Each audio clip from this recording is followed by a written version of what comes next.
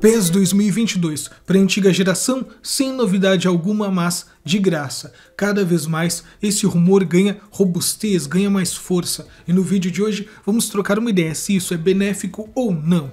O meu nome é Alisson, você está no BG Foot. Desde já conto com teu apoio, dando like no vídeo, se inscrevendo no canal e ativando o sininho de notificações para você não perder nada do que rola no mundo de FIFA e de PES.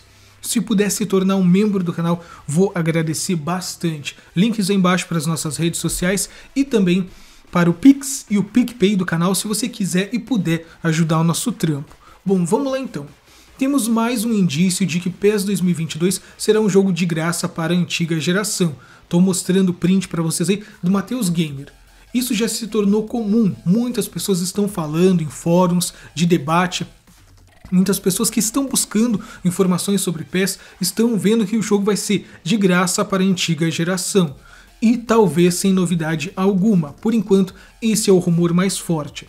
Por parte da Konami de oficial, há bastante tempo a empresa japonesa falou o seguinte: PES 2022 vai ser um Season Update para a antiga geração. Na época, a Konami não falou se seria de graça ou pago, mas ela falou que PES 2022 vai ser o mesmo PES 2020 só que com atualizações de elencos, de faces, né? Basicamente isso.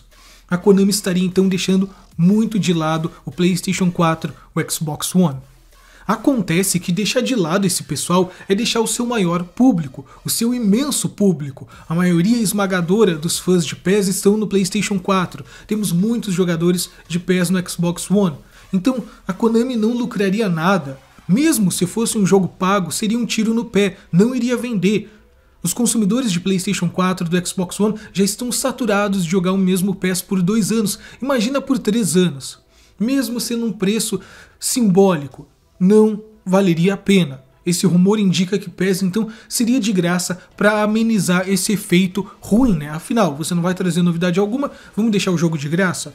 Há uns, sei lá, 5 anos a Konami já trabalha com o jogo Lite, a versão Lite, onde você tem o MyClub, o jogo praticamente de graça, mas você não tem Master Liga, você não tem alguns recursos ali do jogo completo, mas você tem o PES para testar, você tem o MyClub, você tem a gameplay do PES, enfim.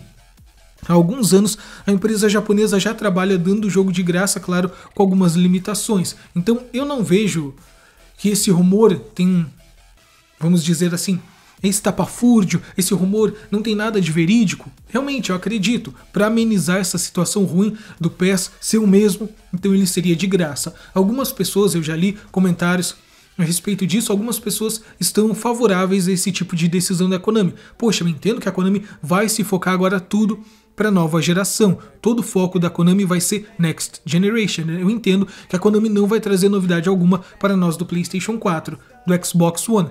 Por outro lado, algumas pessoas argumentam o seguinte: poxa, vai ser um tiro no pé da Konami fazer isso.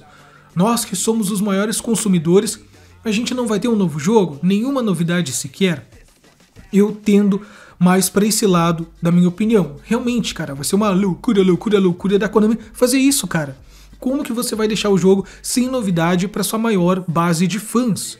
É tipo cagar pros caras do PlayStation 4, do Xbox One, que por anos e anos sustentaram o PES, levaram a marca do PES. Então eu, na minha opinião, acredito que a Konami deveria trazer um jogo com Unreal Engine, o novo motor gráfico para a antiga geração, mas um jogo apenas otimizado, como foi o mobile.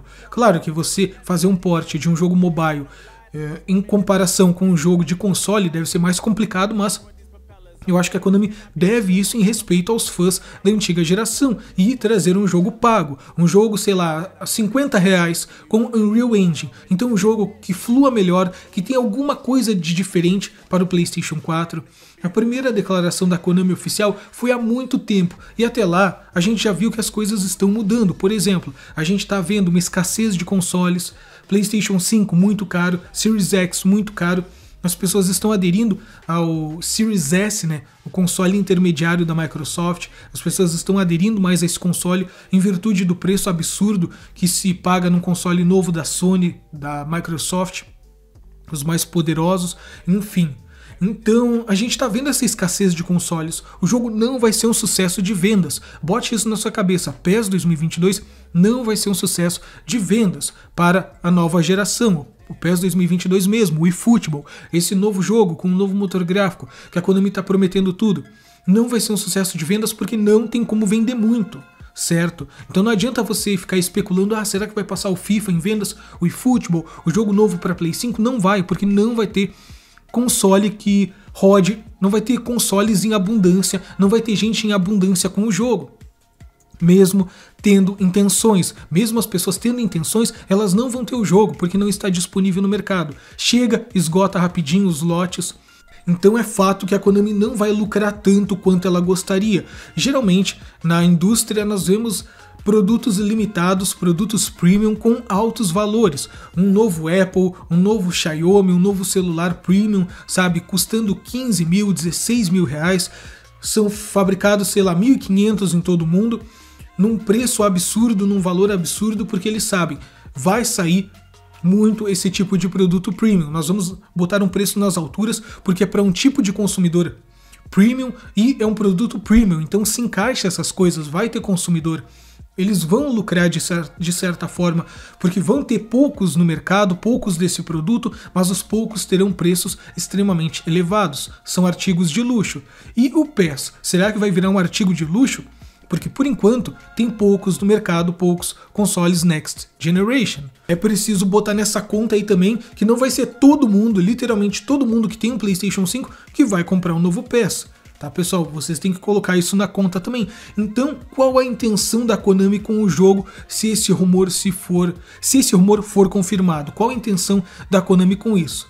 Para mim é simplesmente mostrar o jogo, é mostrar para o pessoal da antiga geração, ó, isso é o que nós estamos fazendo, esse é o nosso trabalho de dois anos.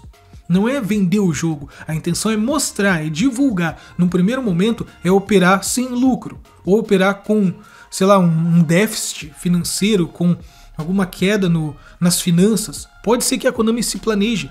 Tem empresas que fazem isso, né, que passam, sei lá, seis meses no vermelho para depois lucrar. Geralmente, empresa, quando está no início, gasta mais do que lucra para depois, com cinco, seis meses aí, começa a lucrar. Então a Konami ela pode operar no negativo por um tempinho ou operar sem lucro, sem uma margem de lucro alta, para depois lucrar, porque ela está tão confiante assim no jogo que ela tem uma certeza que no futuro as pessoas vão comprar muito PES quando tiverem um console de nova geração.